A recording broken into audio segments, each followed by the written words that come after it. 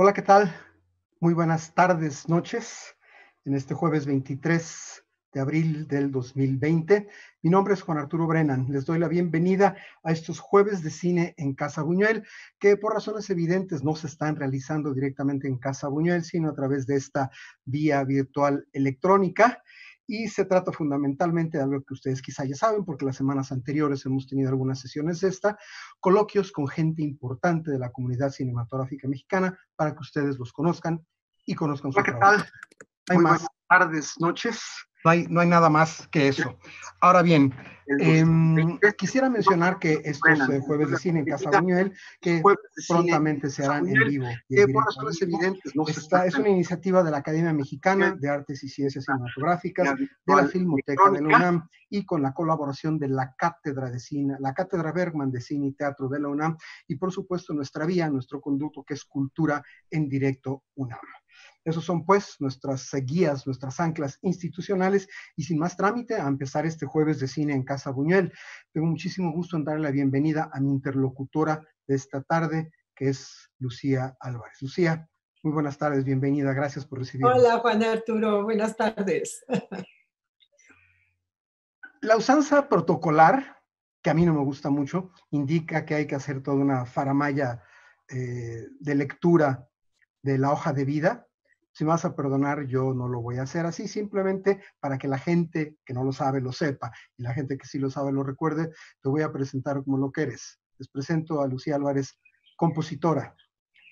Y no digo más, lo demás va a salir un poquito sobre la marcha. Lucía, em, tu alma mater, la ex Escuela Nacional de Música de la UNAM, hoy Facultad de Música.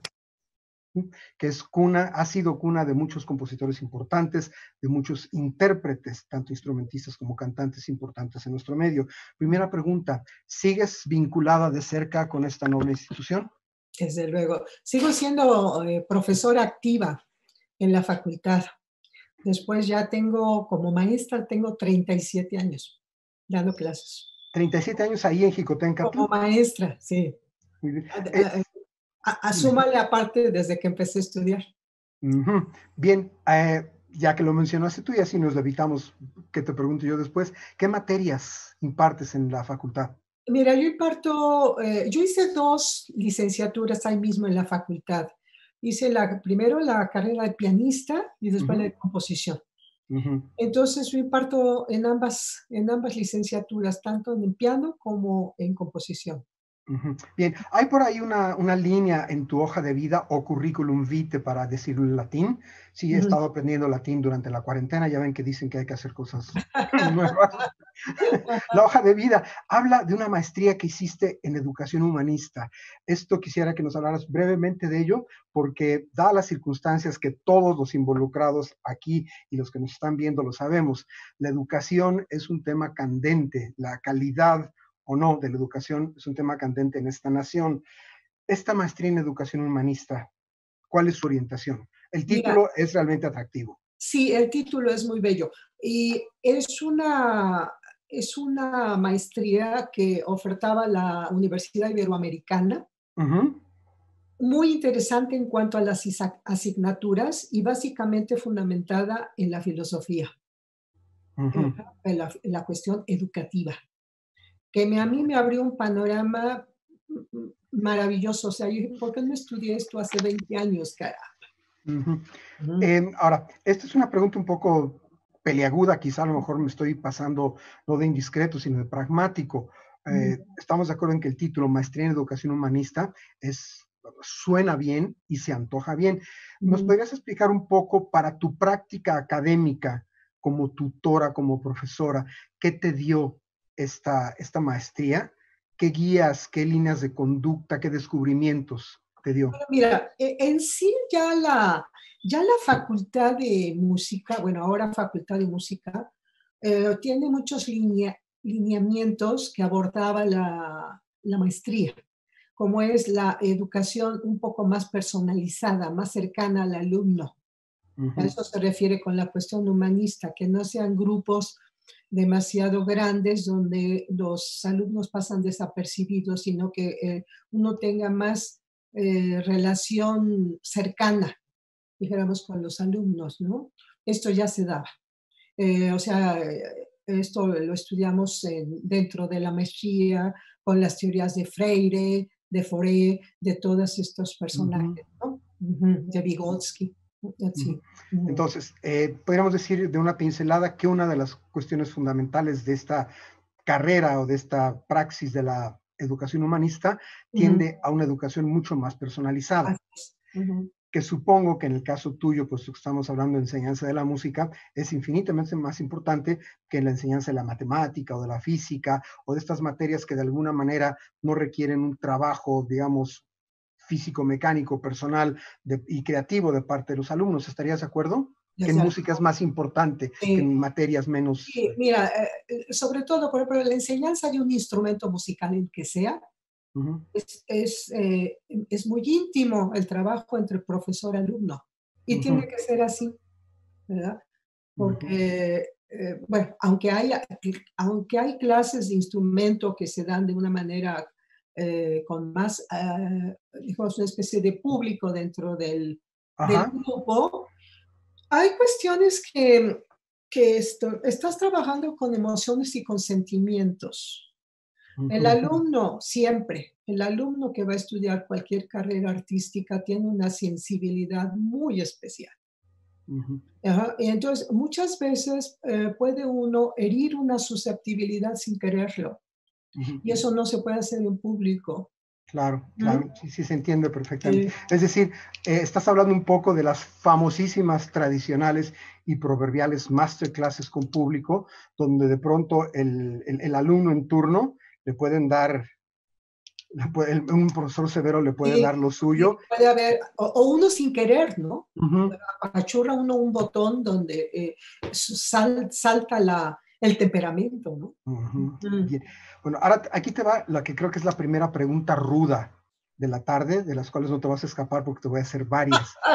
en este contexto, fíjate, en el contexto que estamos platicando así tú y yo, y de que mencionas, y es evidente, la necesidad del contacto íntimo, personal, directo, digamos, específicamente para la enseñanza del instrumento. Déjame que te cuente, Lucía, que varios de mis amigos cercanos, tengo muchos amigos músicos con los que he estado platicando a, distancia en estos días, eh, son maestros también en distintas escuelas locales, en la facultad, en el conservatorio, en la superior, bla, bla, bla. Y varios de ellos me han dicho, más o menos muy quitados de la pena, cuando les pregunté, ¿y tus clases cuándo? Me dice, no, estoy dando clases ahorita. ¿Cómo? No, sí estoy dando clases de instrumento a distancia. Tienes cinco segundos para respirar profundo y meditar. Es posible, bueno, de hecho es posible porque lo están haciendo. Me pregunto, ¿puede ser provechosa una clase de instrumento a través de una liga como la que estamos teniendo tú y yo. ¿Qué, qué opinas? Mira, yo opino que es, eh, sí, yo las he estado dando también de cierta forma. Es un poco difícil. Hace, antes de que empezara todo esto de la cuarentena, estamos atravesando en la facultad por las los problemas de acoso sexual y violencia de género. Ajá. Ajá en las cuales hubo muchas conferencias y muchas juntas. Entonces hubo una sesión en la que se nos dijo a los profesores que de ninguna manera podíamos tocar ya nadie, a un alumno. Entonces, ¿cómo le corriges el arco del violín a un violinista sin decirle, mira, la mano la tienes que poner de esta manera, ¿sí? O sea, eh, se nos hizo una pregunta muy, muy, muy difícil de, poder decir que no cuando tenemos a veces el alumno y le, tienes que decir, levanta el codo un poco. Mm. Y, el, y el alumno te dice, ¿cómo? Porque pregunta, ¿cómo lo levanto? Pues así, ¿verdad? Entonces se tiene que acercar. estás tocando un tema harto importante con, este, con este asunto, porque en efecto ese contacto físico cercano con, con el alumno o la alumna es indispensable para la clase de instrumento. de hecho, voy a meter un poco mi cuchara. No me dio, no tuve oportunidad de tener muchas, pero tuve un par de clases de trompeta cuando era muy adolescente y recuerdo clarísimamente al profesor a la segunda o tercera vez que estaba yo eh, con la boquilla como si fuera mi mamila o mi chupón. Se me acercó, me dijo, quítate esa boquilla de ahí. Se acercó y me dijo, mira, pon tu boquecita así. Y con sus dedos me hizo, hizo la boquita y ahí va. Sí, sí, sí. Ningún problema, por una parte. Sí, Pero claro que entiendo, entiendo las circunstancias actuales y salvo tu mejor opinión, me parece que es una de las 50 mil consecuencias terribles de esa situación terrible de acoso y hostigamiento sexual a todos los niveles, incluyendo el académico. ¿Qué va a pasar cuando esto se vuelva no una, no una elección del profesor, sino se vuelva absolutamente obligatorio? Eso sería terrible. Mira, Juan Arturo, yo empecé a dar clases de piano, no lo vas a creer, a los 14 años de edad con niños pequeños, muy chiquitos. O sea, toda mi vida he dado clases. Y uno, eh, eh, como te digo, huele uno al alumno desde que entra y abre la puerta y entra al salón. Sabe uno cómo es su carácter, su temperamento, su, sus debilidades. Hay unos que son más, eh, unos más, más fanfarrones que otros, otros más tímidos, unos más agresivos, otros más este, engreídos. Oiga, tenemos este, personalidades de todas, ¿no? Pero tiene uno que, tener la, inteligencia y la, sensibilidad de no lastimar a ninguno de ellos. Claro. De no lastimar y, poder, o sea, yo ponerme en los zapatos del otro y decir, a ver, este aguanta más, es más, más juguetón, voy a jugar con él un poquito, pero hay otros que son muy, serios y tienen que ir con mucho cuidado. Pero en fin, dejaremos la exploración ulterior de ese tema para más adelante, pero sí es, creo que debe ser una preocupación bastante severa para los profesores de música, de instrumento y de cualquier otra materia. Se me ocurren, vamos, disciplinas deportivas, disciplinas de fisioterapia, Imagínate en que no puedas tocar al alumno, o sea, se predica con el ejemplo. Así es. en fin, y ahora que pensaba en disciplinas deportivas, eh, recordé de pronto, lo recordarás tú también, los terribles casos, eh, por ejemplo, del equipo de estadounidense de gimnasia femenina, que fue un horror espeluznante con un doctor X. Bueno, en fin, eh, no quiero desviarme mucho. Los chinos de voleibol femeninos son terribles. Ahí, bueno, ellos tienen otra forma de cómo enseñar, ¿no? Que nosotros, para nosotros sería escandaloso. Sí, así es, pero en fin, nos desviamos un poco del tema. Ya que calentamos un poco motores, eh, voy a hacer una pausa aquí en esta línea de interrogatorio y vamos a acercarnos un poco a lo que nos trae. Quizá la gente allá, allá afuera que nos está mirando y escuchando se pregunta, pero ¿y estos dos individuos, estos dos locos, qué hacen aquí? ¿De qué van a hablar y de qué están hablando? Si te, te parece bien que introduzca yo esta, la parte sustancial de nuestra conversación con el siguiente dato. Estamos aquí, Lucía y yo, porque ella es una compositora con una vocación cinéfila fundamental y yo soy un cineasta con una vocación de melómano fundamental. ¿Me parece bien la combinación? Está bien, está bien, me parece muy buena la idea. Yo, creo que por eso nos convocaron. Recuerden que al principio, con toda la mala o buena intención, según lo quieran ver, incluso tú mismo, Lucía, dije, les presento a Lucía Álvarez, compositora. Y hasta ahí, porque empezar la adjetivación y decir de, para, por, empieza a ser muy equívoco y no quise cometer ese equívoco contigo. Es el momento, sin embargo, de informarle a nuestra audiencia que eh, se te convoca aquí, se te convocó para este jueves de cine en Casa Buñuel para que habláramos del hecho de que una de tus especialidades, no la única, no la exclusiva, ni mucho menos, es la composición de música para la pantalla, la composición de música de cine.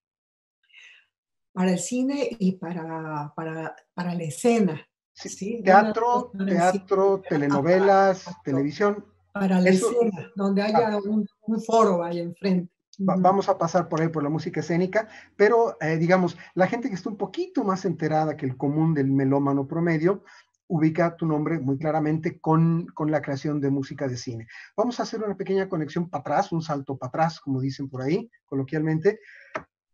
Este oficio específico se enseña, lo aprendiste, tuviste alguna enseñanza, ojo, en la Escuela Nacional de Música, en la facultad, no? No, no, no. Mira, eh, eh, la facultad no, no, oferta este tipo de, de entrenamiento todavía, ¿sí? Se han dado cursos externos, eh, extracurriculares y todo, pero no como, como una carrera, vaya. Y además, cuando yo hice mis primeros pininos en el teatro, tenía yo 17 años, cuando empecé trabajando y fue de una manera muy, ¿cómo te diría yo? Muy, pues de mi parte, muy imprudente. Muy imprudente, porque les digo, yo no sé decir que no. no sé qué decir. Y me dijo alguna vez un, un, amigo hace mucho tiempo, usted nunca diga que no y aunque se llene de hijos. Dicho muy tradicional y muy cierto. sí, entonces pues yo no sé decir que no. Y estaba yo en el teatro universitario trabajando con el maestro Héctor Azar, maravilloso maestro e inolvidable maestro. Gran hombre de teatro de México. Eh, sí, y además este, ponía unas, o sea, eh, o sea, ahí fue donde yo me pesqué, me, me, me sedujo absolutamente lo que era el teatro. Yo tenía 17 años y entré ahí a trabajar como suplente de Alicia Urreta. Ni más ni menos. Ni más ni menos. Eh, Alicia y yo nos conocíamos de la facultad, bueno, de la hora facultad de la Escuela de Música, y entonces ella necesitaba una suplente, e, ella era la pianista de la Sinfónica Nacional. Sí es, y tocaba mucho en teatro. Sí. Alicia era una, una, mujer de teatro cabal y completa. sí, una gran compositora además. Entonces me dijo, yo necesito una suplente porque cuando tengo función de la sinfónica, no puedo ir a hacer la función del teatro. Y necesitaba que tener a alguien que la cubriera. Entonces me invitó a mí a hacerlo. Y así entré yo, entré como suplente de Alicia. A tocar. ¿Cuándo empezaste a componer para el teatro? Mira, empecé a componer porque de repente el maestro Héctor Azar y ella, nunca supe por qué, porque yo ni estaba en el teatro, tuvieron alguna dificultad y se, se distanciaron. Ajá. ¿sí? Eh, nosotros éramos una especie de quinteto que tocábamos en el, en el teatro, en la puesta en escena en ese entonces, y nosotros seguimos adelante tocando el quinteto con la obra del maestro Azar, pero ya sin Alicia. Ajá. Seguimos tocando todos hasta que terminó la, la temporada, vaya, la temporada. Entonces el maestro Héctor Azar me dijo, oye, escríbeme la música para mi próxima puesta en escena. ¿Así en frío? así en frío. Le dije, maestro, yo no soy compositora, yo soy pianista. Y dice, tú puedes, tú puedes. Y como él dijo, y él era así como Zeus, pues dije, yo puedo. Pues él ya dijo, ¿no? Entonces, esto, bueno, pues ya dijo, pues yo puedo. Y entonces le escribí la música para la siguiente puesta en escena y ahí empezó todo mi... Y como, y como dirían por ahí coloquialmente, el resto es historia. Ajá, entonces ya tenemos un primer dato. ¿Cómo entraste a tocar el piano en teatro? ¿Cómo empezaste a componer en teatro? Por favor, cuéntanos el equivalente anecdótico de tu primera partitura para el cine. ¿Cómo, cómo se dio el contacto? La primera partitura para cine. Mira, yo ya había hecho, empecé a hacer, ahí me puse a estudiar composición de una, de una manera autodidacta. Así, o sea, a los 17 años dije, no, tengo que saber un poco más, voy a revisar esto, voy a recordar mis estudios de armonía, voy a recordar lo de más allá, e, etcétera, etcétera, ¿no? Entonces, em, en la facultad de la Escuela de Música éramos muy, muy, muy amigos, Federico Ibarra, José Antonio Alcaraz y yo. Siempre andábamos juntos. Íbamos a todos los conciertos, íbamos a, a todos los ensayos. O sea, eh, convivíamos mucho juntos. Eh, yo no sé si tú recuerdas a José Antonio, era una persona muy inquieta. Por supuesto que sí. Muy inquieta, muy audaz, lo cual yo nunca he tenido. Hasta la fecha, no soy una persona audaz, más bien soy tímida. Entonces, eh, José Antonio, que era muy audaz, un día llega y me dice, ¿qué querés conseguir una película? ¿Cómo conseguís? Sí, sí, sí. Fíjate que conocí a fulano, a Sultano de Perengano y vamos a hacer una película con Alberto Isaac, producida, producida por Fernández Unzaín. ¿Sería pues acaso Los Días del Amor? Así es. Pues vamos a hacerla. Pues él dijo, pues vamos a hacerla. Y entonces eh, fue, fue, fue muy curioso porque fíjate que, bueno. A ver, ah, pero perdón, ese vamos me suena un poco raro y requiere explicación. músico él, además de un gran escritor sobre música, compositora tú, cuando él dice vamos, explícanos un poco, ¿hicieron música los dos? ¿Trabajaron juntos? ¿Se pues repartieron? Trabajábamos juntos de alguna cierta forma. Eh, o sea, eh, José Antonio como que daba las ideas y motivaba y yo escribía. Em, José Antonio no escribía, él no, le costaba mucho trabajo pero era muy creativo. Entonces, digamos, él me decía, mira, ¿qué te parece si como así y así y así? Yo decía, mira, como así y así y así, y lo escribía. Claro. Entonces, pues escribíamos de cierta Sí. forma.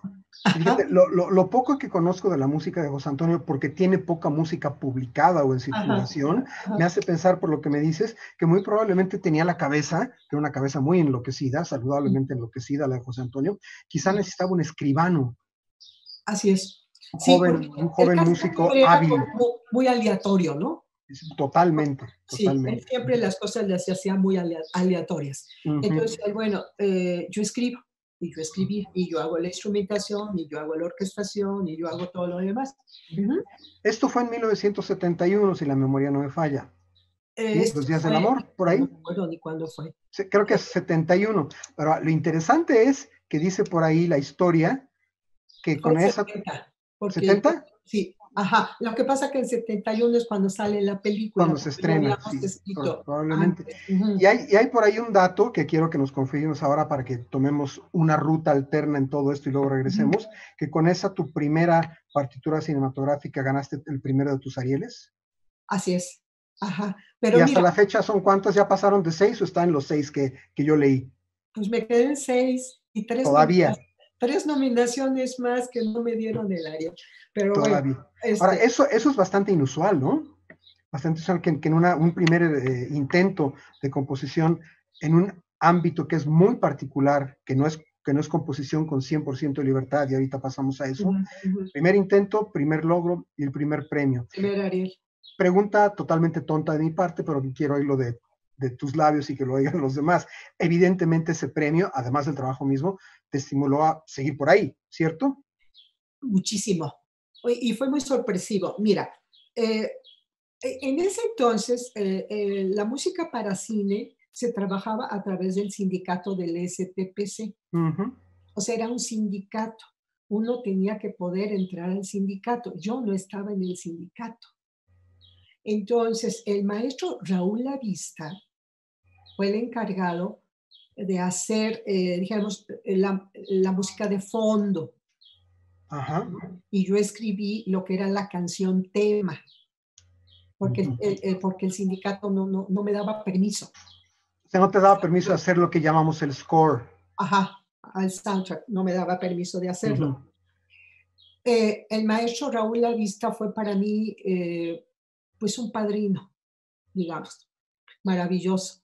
Me iba yo a su casa, oíamos, eh, oíamos partituras con, con- teniendo la partitura y ponía sus discos y además tenía un estudio adorable, Ujú. eh, enorme, lleno de, de- de discos, lleno de partituras, con su piano.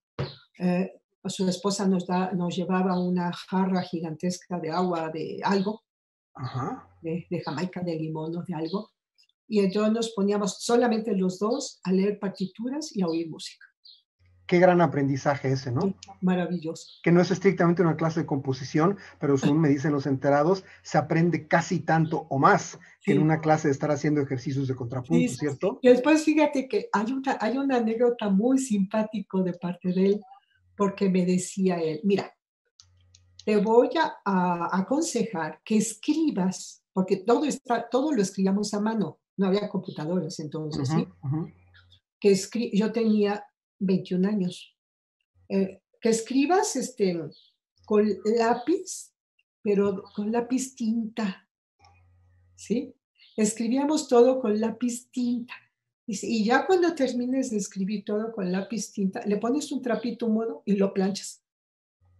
Así, eso es maravilloso. Entonces, Artesanía ya- pura. Sí, y ya escribíamos todo con lápiz tinta porque el lápiz tinta nos permitía borrar mientras no se fijara con agua. Ujú. ¿sí? Entonces, escribíamos todo, podías borrar, corregir o algo así. Cuando ya estabas seguro de lo que ibas a hacer, ponías un trapito así húmedo encima y pasabas la plancha encima y ya entonces ya quedaba Que fijado. Quedaba definitivo. tinta. Ujú. Sí, eso me lo enseñó él. sí, eh, lindo. Pasaba habla- tardes enteras, horas enteras. Muy bien. Ahora, hablando de enseñanza, ya mencionaste, eh, no sin querer queriendo, a Raúl Lavista como uno de tus tutores en este sistema tan peculiar, tan cercano, tan, tan de contacto directo con, con, los materiales musicales, como un maestro tuyo, ¿sí? Pero en algún momento tuviste contacto con uno de los grandes, grandes, grandes, grandes, grandes de este oficio, que es el señor maestro Ennio Morricone. Ah, sí, bueno, pero Cuéntanos. ya muchos años después. O sea, mira, muchos años después, porque eh, eh, yo estuve con Ennio Morricone eh, un poquito antes ya de hacer el, el, el, Callejón de los Milagros. O sea, ya fueron muchos años después.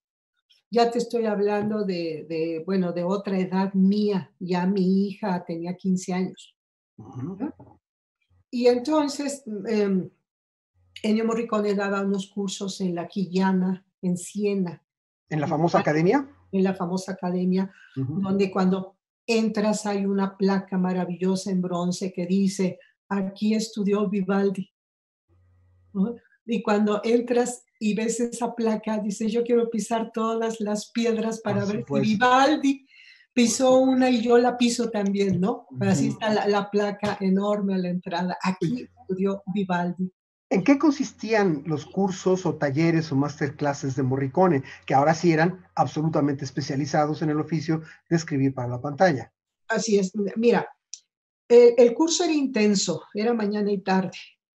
Estaba temprano, a las nueve de la mañana ya estábamos ahí. Entonces, en la mañana se exponía, eh, solamente se hablaba de las películas que Morricone eh, compuso música para ellas no hablábamos de películas de otro compositor que no fuera él mismo. Muy bien. Ajá, tenía un interlocutor que un maestro, eh, espero que todavía viva, no sé, eh, un maestro de historia de la música maravilloso que se llama Sergio Micheli. Eh, Sergio Micheli era básicamente la parte oradora del curso de Morricone, porque Morricone era una persona de pocas palabras. Hablaba poco, estaba ahí siempre sentado a la expectativa y solamente contestaba las preguntas que hacíamos nosotros, eh, los concurrentes, que íbamos gente de todo el mundo. Había gente de Francia, españoles, italianos, desde luego, estaba yo, había alguien por ahí de Uruguay, me acuerdo que había alguien de por allá. ¿Tienes idea si algún otro compatriota ¿Algún otro mexicano ha estado en esos cursos o estuvo? No, no sé si alguien más estuvo, pero cuando yo fui no había otro más que yo. ¿Esos eh, cursos eran solamente eh, enseñanza teórica y plática sobre sus, sus partituras, análisis, sus películas? análisis. O, escribían? Escribían. Eh, ¿Ustedes escribían? Se hacía un ejercicio, una especie de un ejercicio con un, con un corto, que yo no lo pude hacer porque yo estaba hospedada en un hostal donde no había ni medio piano. Mm. No, no, este, y yo sí soy una compositora que sí necesito el piano para escribir. Y entonces me quedaba muy en el aire, no tenía yo elementos para poder participar. A pesar de esta limitación, ¿dirías que fue útil, eh, que te dejó enseñanzas importantes el contacto con Morricone? Yo llevé mis trabajos que había hecho, Ajá. Llevé partituras mías y llevé películas mías y me dijo, usted ya es una profesional, Lucía me dijo, lo cual yo me siento muy halagada. Usted ya es una profesional, siga trabajando. Entonces, pues sí, porque yo ya había hecho este, varias películas antes de, de, estar con él. Eh, el, curso con él, en la tarde, lo que era la parte de la tarde, veíamos películas. ¿Solamente películas musicalizadas por él? Sí, todo era, todo, todo era por él. Todo, todo. Cuando estuve yo allá, se presentó un libro de su, una especie de biografía escrita por Micheli. Y fuimos a la presentación. Después se estrenó también una, una película maravillosa que seguramente tú la has visto, que se llama Una mera formalidad, dirigida por Tornatore. Entonces ahí tuve el placer de conocer a Tornatore también y a la premier, estar en la premier de la película. Una, una película maravillosa, que yo, la, la, sensación fue extraordinaria porque estaba yo en la fortaleza de los Medicis al aire libre viendo la película con un sonido, porque los italianos son muy buenos para el sonido. Qué bárbaro.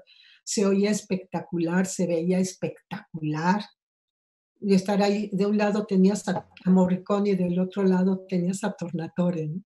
Entonces eso fue para mí eh, eh, maravilloso, maravilloso, sí. Eh, entonces pues era yo como aspiradora en ese tipo de, de cursos. Cuando regreso a México, regresando a México, pues me ofrecen el Callejón de los Milagros. Jorge Fons. Sí, venía yo muy inspirada, muy motivada, muy todo. Entonces, bueno, pues vamos a hacer el Callejón.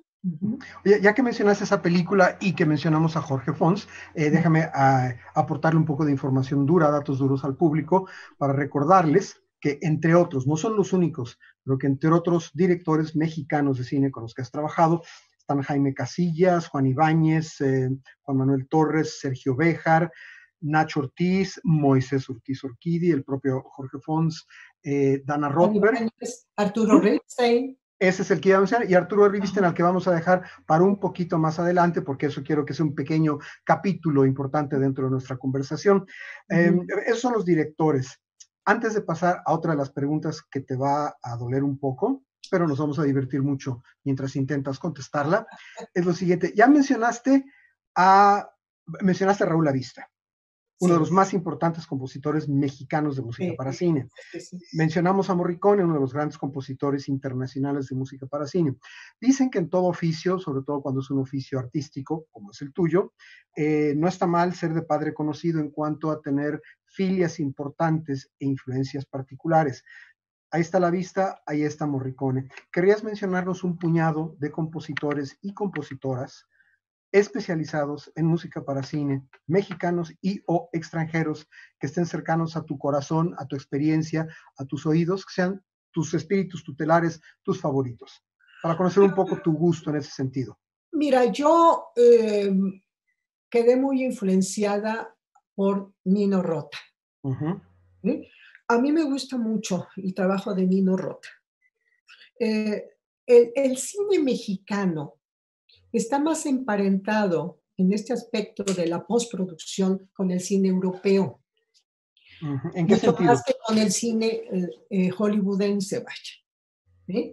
O sea, en México no hacemos estas películas épicas, grandilocuentes que hace, que hace el cine hollywoodense nos, nos, em, nos eh, acercamos mucho más al, al cine eh, francés, alemán, italiano, español mismo.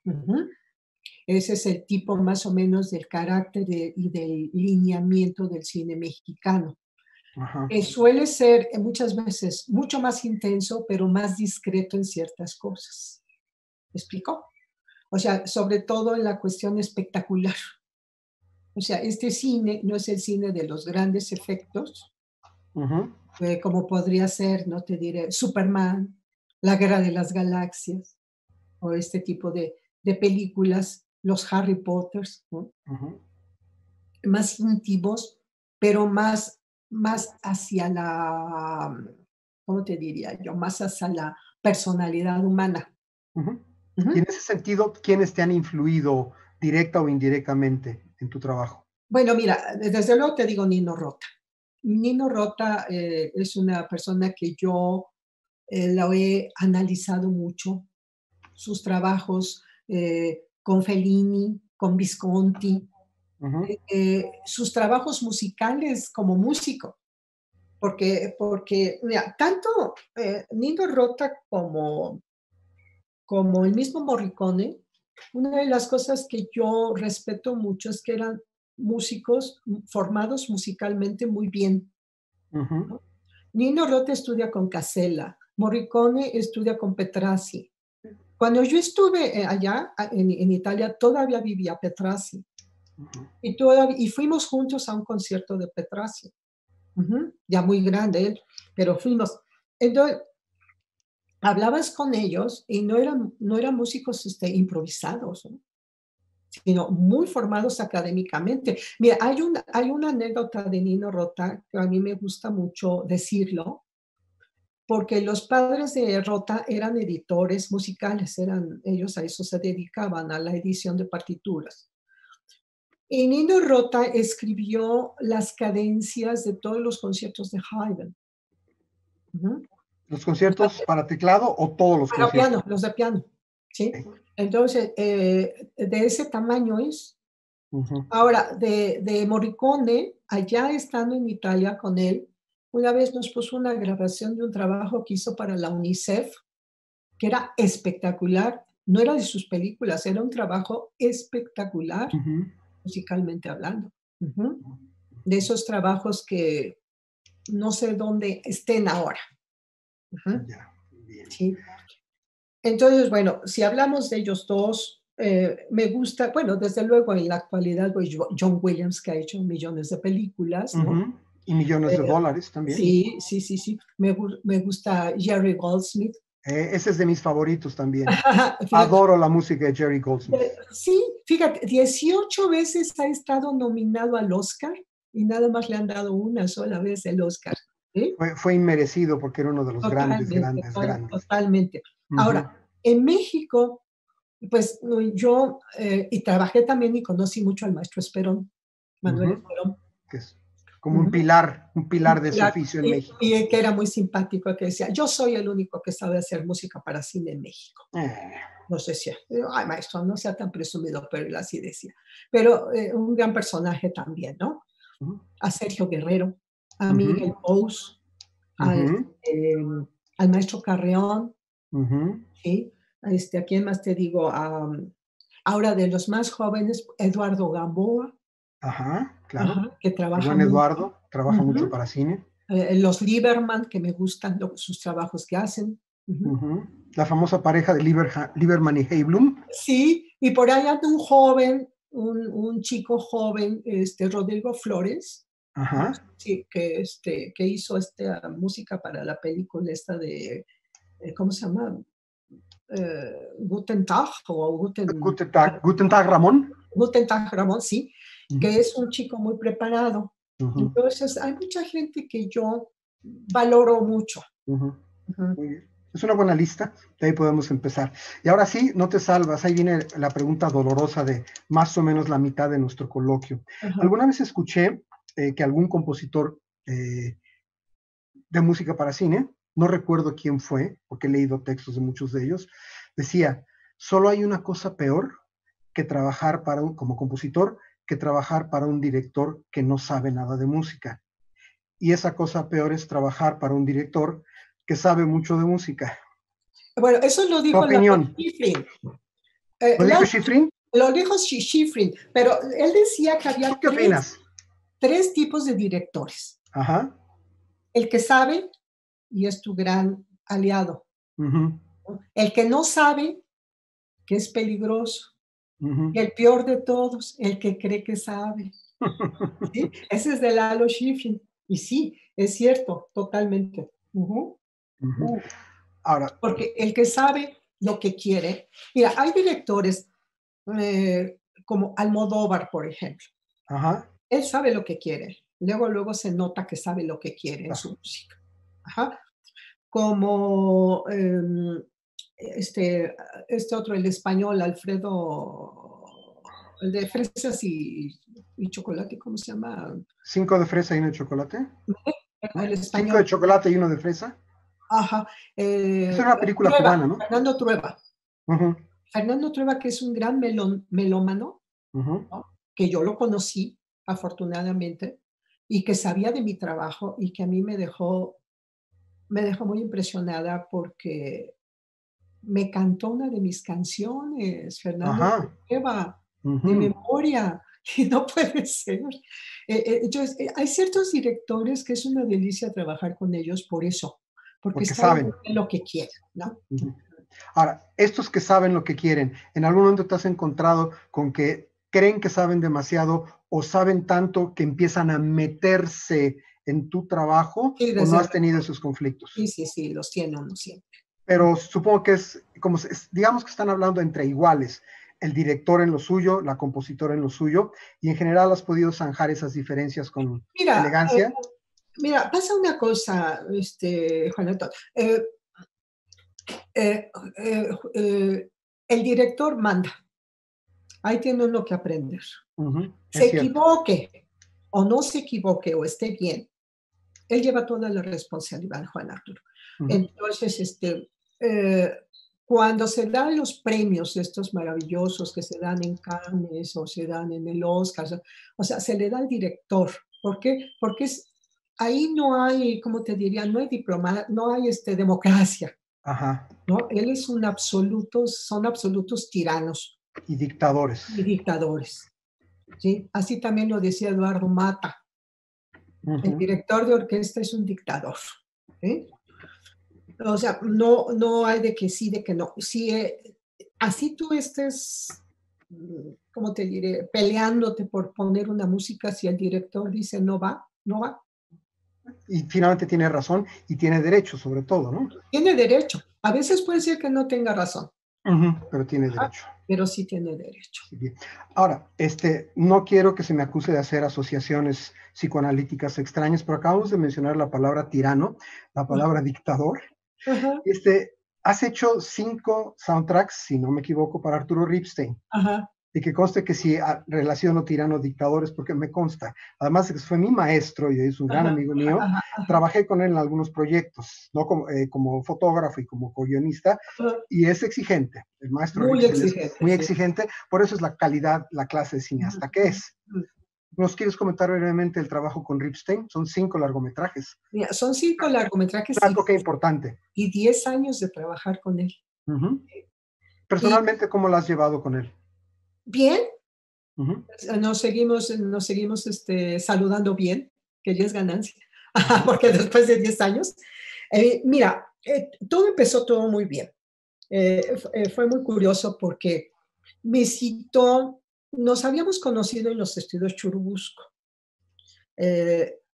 por una, una, una, en una grabación de una película de él, que no sé qué película, no me acuerdo, ni, ni quién había hecho la música de esa película, pero yo fui a la grabación de esa película, de la música.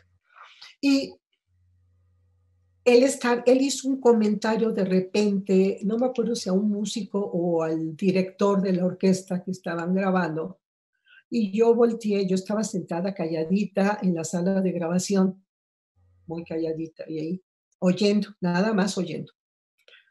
Y entonces volteé y le dije, señor, ¿usted es músico? Y volteó y se me quedó bien y me dijo, ¿por qué? Porque ya siempre es así, ¿por qué? Pues es que el comentario que usted hizo es muy correcto. Algo así, no me acuerdo. Creo que él se acuerda mejor que yo. Eh, el, comentario que había hecho era realmente sí, muy oportuno. O sea, musicalmente educado. Eh, sí, pasó el tiempo Pasaron varios años después de eso. Y un día me llaman por teléfono. Arturo tiene una maravillosa virtud. Nunca manda que, que la secretaria te llame por teléfono o el hijo de la secretaria o el nieto de la tía. Siempre habla él. Él marca. Entonces, está usted hablando. Está usted hablando. Pues pasa, esa pues venía a mi casa, que no sé estaba muy joven, chica, muy joven todavía. Y entonces fui a su casa, a su penthouse ahí de las calles de Ámsterdam. Sí. Y bueno, él había que subir en el elevador hasta el, hasta el penthouse. Yo subí, toda nerviosa, toda sabiendo, pues, a ver de qué se trata esto, ¿no? Y abre la puerta se abre la puerta del elevador y Arturo me dice, ¿tú eres la mejor músico de cine de este país? Así me recibió. Y yo me, yo me tamaleo, me sacudí y, le digo, ah, señor, eh, yo no sé si yo soy la mejor, me imagino que hay mucha gente buena, ¿no? No puedo yo presumir de ser la mejor. Entonces me dice, pues si no eres la mejor, no me importa. Y me cerró la puerta y me mandó para abajo, para la planta baja. Ahí voy en el elevador para abajo, pero en el, corazón latiéndome rápido dije, no, yo quiero hacer esta película. Entonces, volví a subir del elevador, volví a tocar el timbre, me abre la puerta, ahí estaba, ahí seguía parado, bien que sabía que iba yo a regresar. Ahí estaba parado y le digo, sí soy la mejor, señor. Y me dice, entonces puedes pasar. ¿Qué, qué, película fue la primera que le escribiste después de, esta? El Imperio de la Fortuna. ¿Mm? El Imperio de la Fortuna. El Imperio de la Fortuna. Sí, fue la primera que hicimos. La primera. ¿Y cuáles más has hecho para él? En el 85 es El Imperio, después este, Mentiras Piadosas. Ajá. Después una tercera versión de La Mujer del Puerto. Que nunca se ha visto por aquí. Que nunca se ha visto por aquí porque ahí hay una historia macabra acerca Sí. de la película. Sí. ¿no? sí. Y, y después en, una, en un solo año, ahí fue donde, donde dejamos de trabajar porque fue un año muy intenso. En un solo año hicimos La Reina de la Noche y Principio y Fin, en el mismo año. Entonces, era, era tanto para él como para todos, era un trabajo agotador Claro. A estar escribiendo dos partituras, dos películas, dos, dos, dos, dos, Ujú, en un año. sí. Terminamos Reina todos de- así, muy estresados. Sí, Ujú. La Reina de la Noche, si la memoria no me falla, tiene como centro narrativo Lucha Reyes. Sí, inspirado en Un la- miembro de nuestra, de nuestra audiencia preguntó hace un rato y ahora quiero aprovechar para Ajá. pasarte su pregunta. Si en el proceso de componer el score para esta película hiciste una investigación particular de la música que Lucha Reyes hacía y cantaba o hiciste nada más lo tuyo y la parte, digamos... No, no, de- desde luego. No, sí, mira, Juan Arturo, eso siempre lo hago. Ujú, Para todas las películas. Siempre hago una investigación para situarme en época, en momento, hablo mucho con el director. A mí me gusta que me llamen desde que están haciendo el casting. ujú, O sea, cuando hacen el casting, que yo sea parte de ese casting para poderme irme involucrando en el proceso, ir, ujú, ir gestando. Es muy importante la gestación. No me gusta que me den una película ya terminada con la que nunca conocí a nadie y nunca hablé con nadie. ¿eh? Entonces, esto, empiezo desde, desde me, dan mi, me dan mi libreto. Mira, para La Reina de la Noche, Pasalicia hizo 10 versiones diferentes de, libret, de, guion y yo las leí las 10. Ajá. Entonces, así me, a mí me gusta irme así empapando. Ujú. Y en el ¿no? caso particular de Lucha Reyes, que da Sí. la casualidad que es un personaje de una película que, a la que tú le pones música, que ella misma fue intérprete musical, Ujú. ¿qué- Sí. ¿cómo te metiste a la música de ella? Pues mira, oyendo todo, sabiendo todo, después hablando mucho con Pasalicia porque había pocos datos biográficos. O sea, la película, eh, la misma Pasalicia decía, no, no hay mucho de dónde, de dónde sacar datos biográficos, tenemos poco material biográfico. Había ya pocas personas vivas en ese momento que hubieran conocido a Lucha Reyes. Entonces, ella investigó muchísimo eh, y, y, pues es un, es un libreto muy, muy ficticio, ¿no? Sí. Con, con, dos anécdotas principales, que era una gran cantante que había instituido un estilo de cantar y que se había suicidado. ¿Sí? Esas eran las dos, las dos. Todo lo demás alrededor Ujú. era, era fantasear mucho. ¿Oíste muchas grabaciones de Lucha Sí. Reyes? Sí, desde luego que sí. Uh -huh. Bien. Desde luego que sí.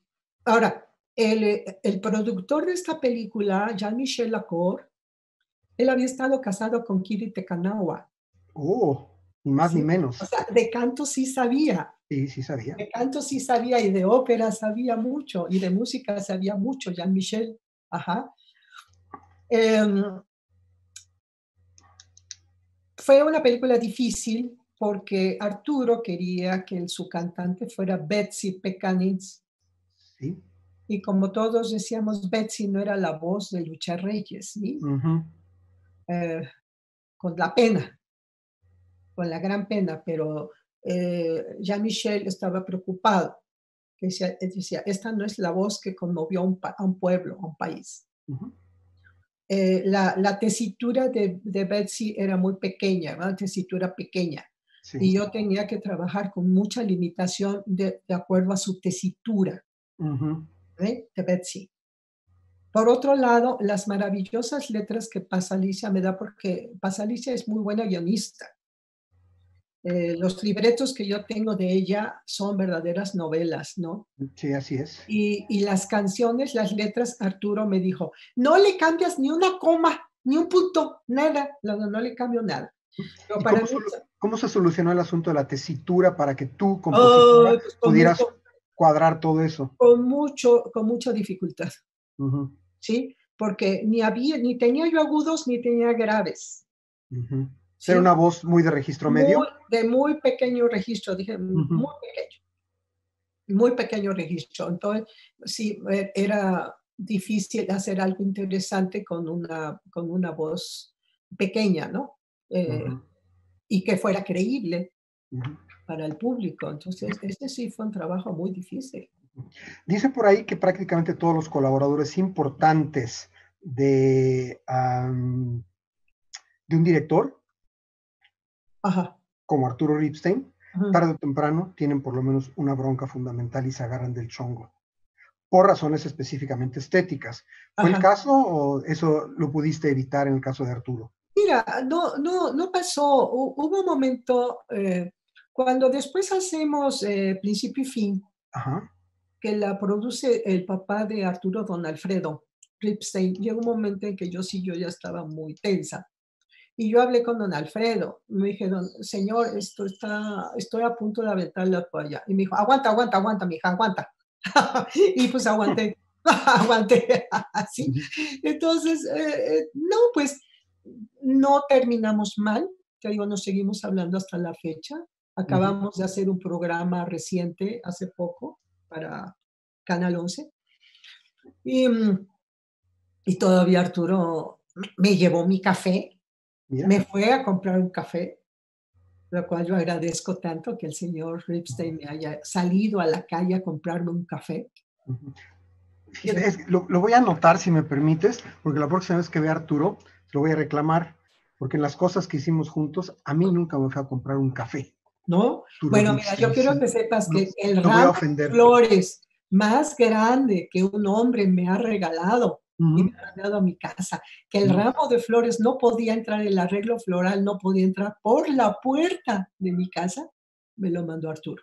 Bien, vamos a regresar un poco al oficio. Eh, iniciamos hace muchos minutos sabiendo que empezaste como pianista, compositora, después compositora de alguna manera especializada, pero no exclusivamente en la música de cine. El oficio, el estar con la materia musical en las manos todos los días.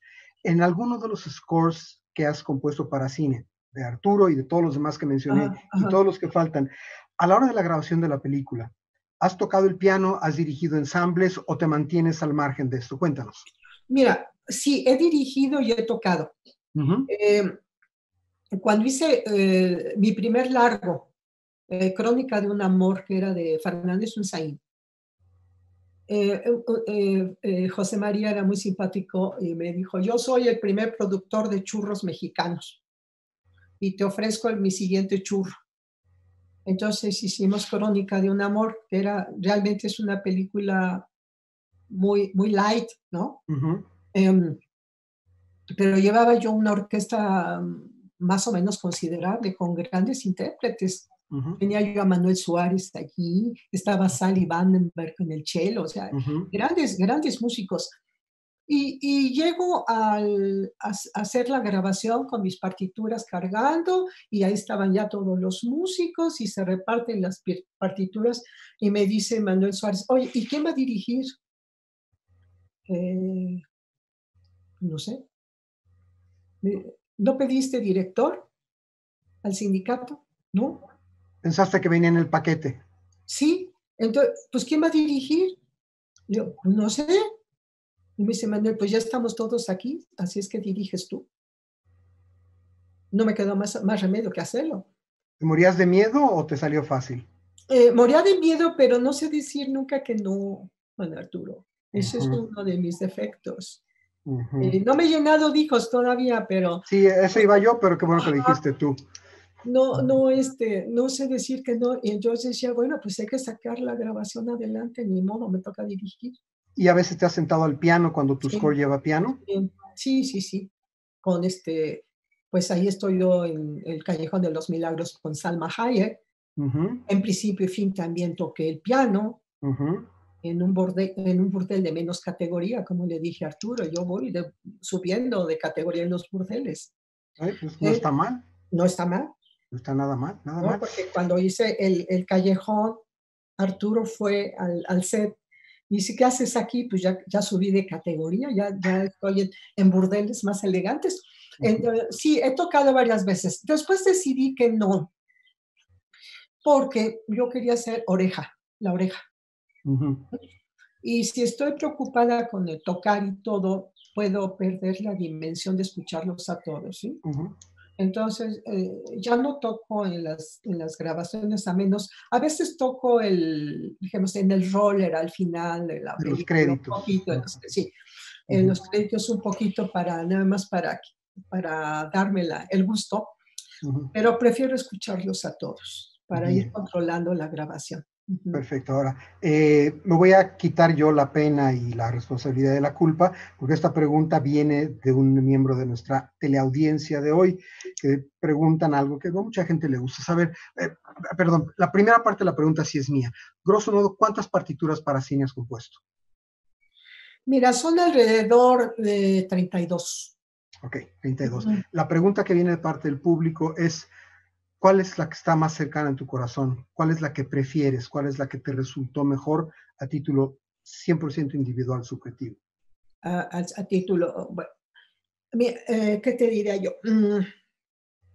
Ah, caray, es una pregunta muy difícil porque me he comprometido mucho con todas. Por eso yo me saqué la espina y dije que no la mandó alguien del público. Sí, me he comprometido. La primera por ser la primera, que estás muy nerviosa. La segunda porque es la segunda trabajos, por ejemplo, cuando hice Divinas Palabras. ¿Con Juan Ibáñez? Sí, con Juan.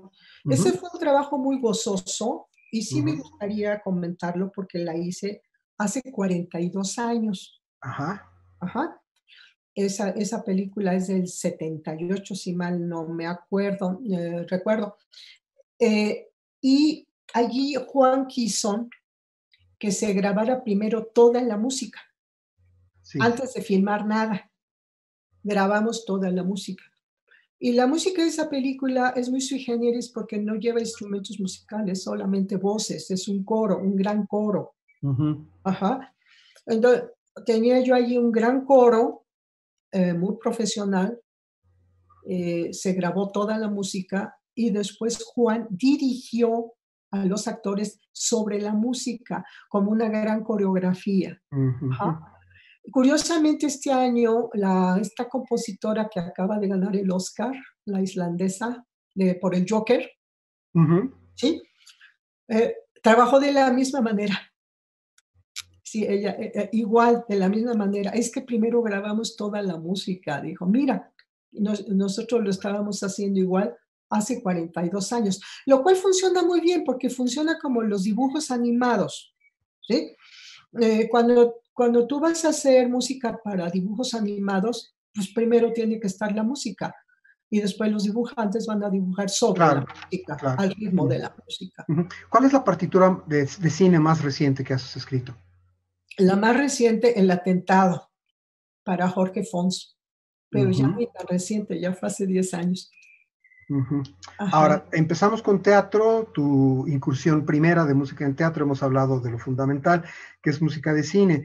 Eh, en general, el concepto es música para la escena, si consideramos la pantalla también como parte de la escena. Como una, no diría consecuencia, pero como un, tejido íntimo de esto, también has escrito ópera. Sí, sí, he escrito, bueno, escribí una especie de ópera que fue eh, Moctezuma. Moctezuma de Homero Aridgis, que es una especie de poema sinfónico cantado con solistas y coro, y, que fue para uno de los festivales cervantinos de Suma. Ajá. Y ahora terminé una partitura que estoy muy entusiasmada, es una, no la quiero llamar ópera porque mm, no la quiero limitar, Sí, es una comedia musical para niños. ¿María la Monarca? María la Monarca, sí. Es este, sobre las mariposas monarca con libreto de Homero Aridgis. O sea, tus dos óperas o obras similares son sobre la poesía de Aridgis. De, de, Homero, sí, bueno, él y yo somos muy amigos desde hace muchos años.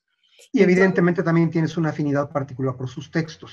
También, sí. Entonces, uno de los días que yo comí en su casa, ya al terminar la comida, me trajo el cuento ya editado y me lo dio. Me dice, ten, ¿por qué no haces una ópera?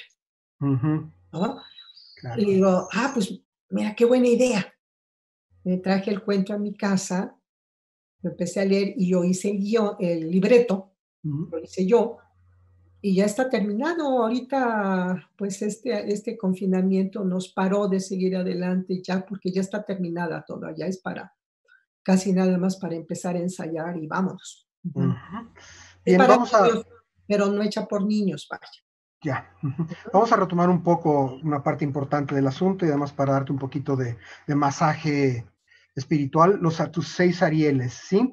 Nos pregunta eh, Mariana Ceja del público que qué ha significado para ti la obtención de esos numerosos Arieles, porque sí son numerosos. ¿Cómo, ¿Cómo influyen en lo que eres y lo que sigues siendo como compositor. Te voy a decir algo y tú lo sabes perfectamente bien. Siempre cuando tus padres te reconocen que hiciste bien algo, te sientes muy contento. Es como cuando mamá te dice bravo, papá te dice qué bien. Em, el primer Ariel, el de los días del amor, fue muy sorpresivo porque nadie me avisó, me enteré por el periódico. Ah, eso está bien. El periódico llegaba todos los días a mi casa. Y entonces yo estaba leyendo el periódico y me acuerdo muy bien que le dije a mi mamá, mamá, gané. Tenía yo 21 años, gané yo. Entonces, el primero fue así como muy sorpresivo. Em, hay otros que se me escaparon de la mano, que uno fue el del Imperio de la Fortuna, que estuve nominada y se me escapó ahora sí que por medio pelito que me hubiera gustado mucho porque se trabajó muy, trabajamos, bueno, yo trabajé muy a gusto con esa, en esa película. Y bueno, y los otros em, eran, como te diré, eran casi como dados en bandeja de plata. ¿Por qué? Porque los libretos eran así yo he tenido una gran suerte, Juan Arturo, trabajar con los más grandes de mi época y trabajar muy bien. Y en bandeja de plata. Me acuerdo que una vez le dije a don Alfredo Ripstein, Señor, usted me pone entre la espada y la pared. Eh, él ofrecía siempre sueldos bajos, ¿no? Un sueldo bajo con un gran proyecto, ¿cómo dices que no? Pues sí es una buena forma de torcerle el bracito sí. al artista creador, ¿cierto? Pues sí, porque tienes un gran proyecto que sabes que no lo puedes dejar ir, ¿no? bueno, vamos a ponerlo de otra manera, como el padrino, vamos a hacerle una oferta que no pueda rechazar. Ajá. Es un poco por ahí, ¿no? Ajá, fíjate, por ejemplo, principio y fin, no ganó aquí, pero ganó en Francia. Divinas palabras no ganaría, pero gana Diosa. Entonces, de alguna manera, esto, eran proyectos muy, muy codiciables, muy codiciables, definitivamente. Y, don Alfredo sabía perfectamente que ya a mí me iba a encantar. Mm. Bueno, ya cualquiera le hubiera encantado. Brevemente para recordar, son seis Arieles ganados y cuántas nominaciones más? Creo que son dos o tres, no recuerdo. Dos o tres más. Es por el Imperio, otra es por, bueno, por Divinas Palabras, que no me dan el Ariel, pero estoy nominada. Eh, esto, me dan la diosa, pero no el Ariel. Y no recuerdo cuál es el otro más. Ok, bien. Ahora, eh, Nayeli Miranda pregunta algo que quizá tendría más que ver con, un artista, eh, con un ejecutante, un performer que se dice en inglés, y no con un compositor, pero pregunta ella, Nayeli, ¿Cuál es tu miedo mayor cuando pones pluma al papel pautado y dices hay que empezar? ¿Tienes algún fantasma por ahí que te ronda? ¿Algún miedo o pavor particular? Cuando es para, para, componer. Para componer, para en general. lo que sea. Sí. componer lo que sea. El miedo mayor, mira, yo, yo comulgo mucho con lo que dice Stravinsky, que más que inspiración hay motivación. habiendo una buena motivación, va uno para adelante. Cuando uno escribe música de concierto, y ahorita tengo muchas obras escritas que no se han estrenado, varios conciertos que están allí sin, sin tocarse en público. Eh, sueño con que eh, tengo un concierto para orquesta y dos flautas, doble concierto, que ya tiene 10 años que lo terminé y no se toca.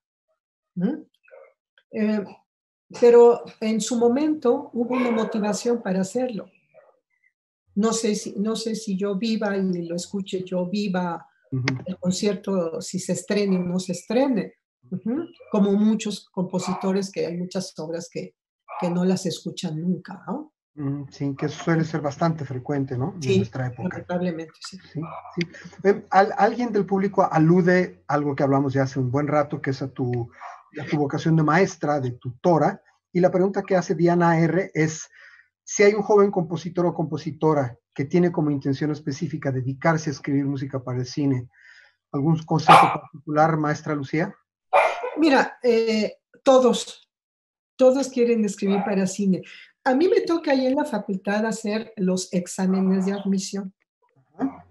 En una, de, en una pregunta obligada siempre es ¿por qué quieres ser compositor?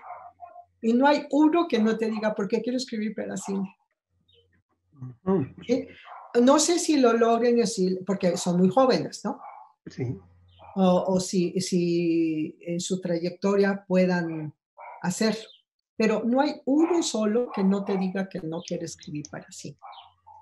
Entonces yo pregunto, eh, ahí hay un poquito de mm, idealismo de parte de ellos, son muy jóvenes. Bueno, les dice, sí, quieres escribir para cine. ¿Y qué película te gustaría hacer? Y siempre piensan en las grandes producciones hollywoodenses. Yo quiero hacer, me gustaría hacer eh, Superman, Batman, la Guerra de las Galaxias número 84, en fin. Eh, ese es, ese es su, su mentalidad que ellos llevan. Pero no hay uno solo que diga que no quiere escribir para cine. ¿Y tú cómo interpretas esto, que entre los jóvenes compositores hay una tendencia tal, tan numerosa, estadísticamente marcada, hacia componer música para la pantalla? ¿A qué lo atribuyes o qué opinión te merece? Pues es parte de su motivación, pero ahora tienen otras ventajas porque están, eh, eh, hay unos que quieren escribir para videojuegos, por ejemplo. ¿Mm? Para videojuegos, eh, para la televisión. Para, telenovelas. Para telenovelas. Yo hice, hiciste una por lo menos, ¿no? Todo por amor. Todo por amor es tuya, ¿verdad? Sí, sí, sí es mía, pero ya quedé este, más que quedé más que curada de espanto, ¿no? Em, Entonces, pero eh, digamos, em, como tú ya tú, tú eras una experta en este oficio, a ese joven compositor hipotético que llega y te pregunta personalmente, maestra Lucía, me quiero dedicar a la música de cine. Y la pregunta, ¿qué me recomienda? Por supuesto, estudia, estudia, estudia, escribe, escribe y escribe. Pero alguna cosa muy particular en cuanto a encaminarlo al oficio específico de componer para el cine, yo tendría una que es evidente, que es mirar todo el cine que pueda. Eh, más que eso, mira, yo les digo, ¿cuál es la música para cine? No hay una receta. No. Hay dos películas iguales. No los hay. así como puedes decir eh, que yo hice La Mujer del Puerto, tercera, tercera versión, no es igual a la primera. Para nada. Entonces, al no haber dos películas iguales, no puedes dar una receta. Eh, la música para el cine es toda, toda la música. Lo que uno tiene que aprender es a tener una muy buena sensibilidad para saber dónde ponerla. ¿Mm? A veces la música es por encargo, por muchas razones. El director y el productor quieren su propia música, su propio soundtrack, su propia personalidad. ¿ah? y entonces contratan a un músico para que les escriba música original. Pero mira, tú que eres un cinéfilo este, encarnizado, sabes muy bien que hay muchísimo cine que no llevaba, eh, que la música que se le pone no era una música especialmente escrita para, para la película. Ahí está 2001, Odisea del Espacio. Exactamente. Es una gran cosa. Que es una soundtrack. Gran una gran cosa. Ahí está el discurso del rey, ¿sí? Eh, que tiene Beethoven.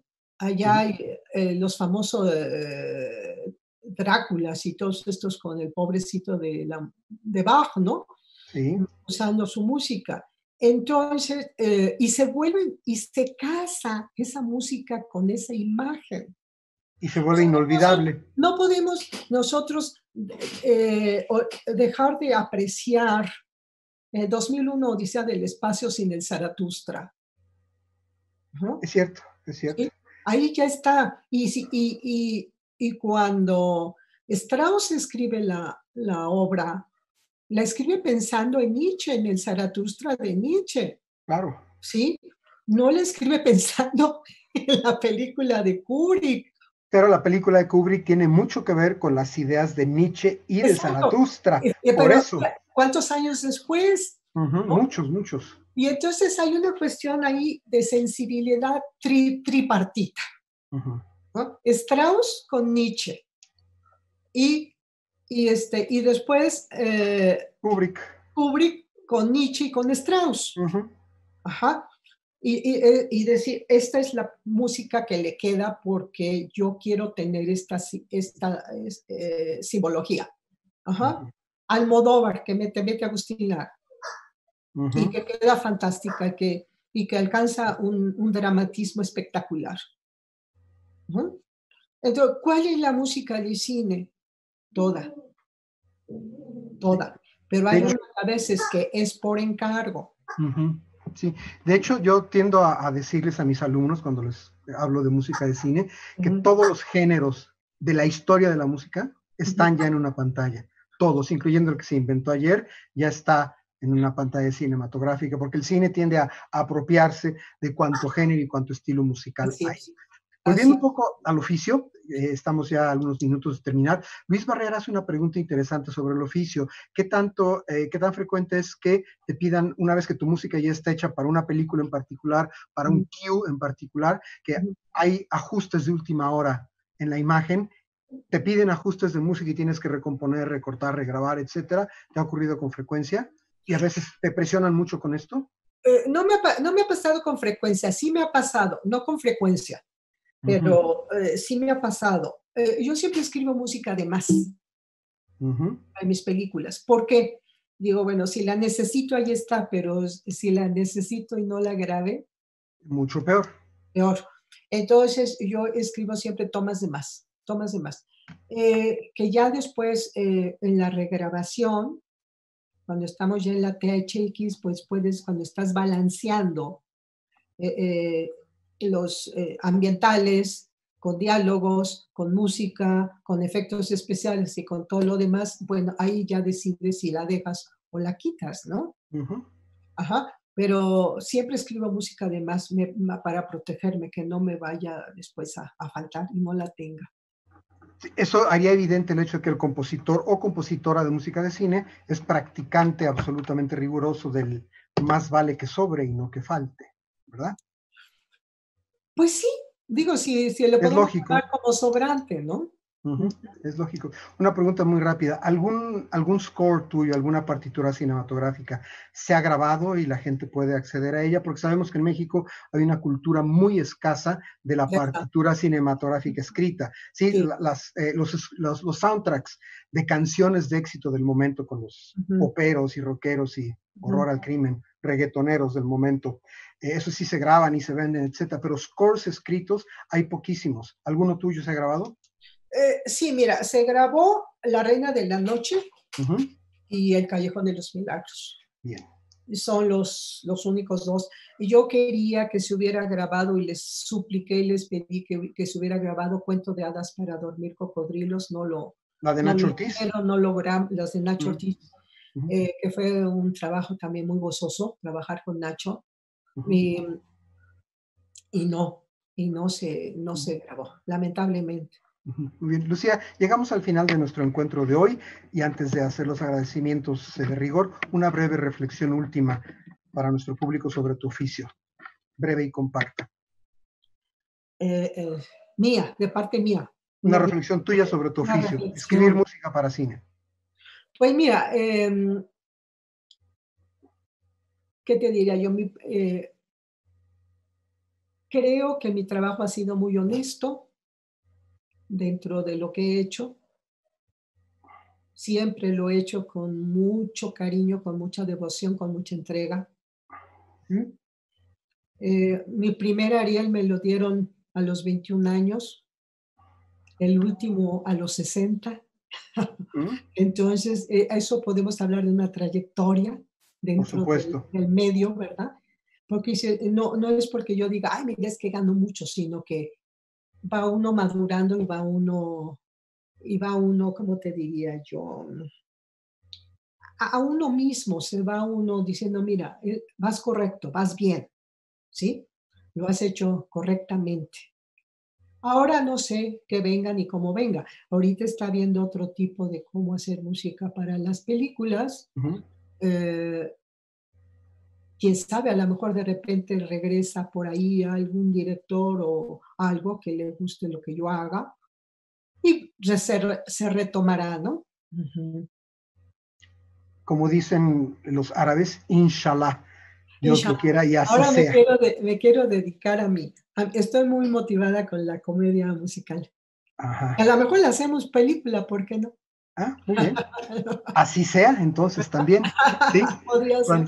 Antes de despedirme de ti formalmente al final de nuestro encuentro, Lucía, quisiera mencionarle, eh, mencionar de manera general nuestro agradecimiento de mi parte personal, estoy seguro que de parte de Lucía también, sobre todo y principalmente a todos aquellos que nos han acompañado esta tarde, a este jueves de cine en Casa Buñuel, que ha sido virtual, electrónico, pero que muy pronto será esperemos que muy pronto sea en vivo allá en Casa Buñuel. Y, con eso iba yo a decir, eh, sé de buena fuente porque así me lo dijeron Marina y Hugo, que va van a ser con Martínez y eso será triple o cuádruple ocasión para celebrar. Les recuerdo que estos jueves de cine en Casa Buñuel son una iniciativa de la Academia de Artes y Ciencias Cinematográficas, la Academia Mexicana de Artes y Ciencias Cinematográficas, la Filmoteca de la UNAM y con la colaboración decidida de la Cátedra Bergman de Cine y Teatro de la UNAM y Cultura en Directo UNAM. Gracias a esas instituciones estamos llegando a ustedes. Y les recordamos que estos jueves de cine en Casa Buñuel son los jueves, si me permiten la redundancia, a las 18 horas, como el de hoy. El próximo jueves estén pendientes de las informaciones para saber qué sigue. Y, por supuesto, no dejen de asistir a estos jueves de cine en Casa Buñuel, porque estos diálogos con la gente de cine son realmente muy, muy sabrosos. ¿Y dónde se ven? En el canal de YouTube de Cultura en Directo UNAM. Gracias entonces a todos los que nos vieron y escucharon, a todos que nos mandaron sus preguntas y comentarios de mi parte muy, eh, de, manera muy individual. Gracias a Marina Stavenhagen, a Hugo Villas y, por supuesto, para el final, el último agradecimiento, Lucía Álvarez, compositora que también hace partituras para cine. Te agradezco muchísimo haber estado con nosotros esta tarde con nuestra teleaudiencia en estos jueves de cine en Casa Buñuel. De veras, mil, mil gracias. Una conversación muy instructiva. Yo agradezco a la academia, a la UNAM y a ti. Muchas gracias por esta, por esta oportunidad. Nos estaremos viendo y escuchando muy pronto. Gracias de nuevo a todos los que mencioné y a los que no mencioné también. Soy Juan Arturo Brennan. Buenas tardes, hasta el siguiente jueves de cine en Casa Buñuel. Pásenla bien y cuídense. Mucha salud. Igualmente, gracias. Hasta pronto.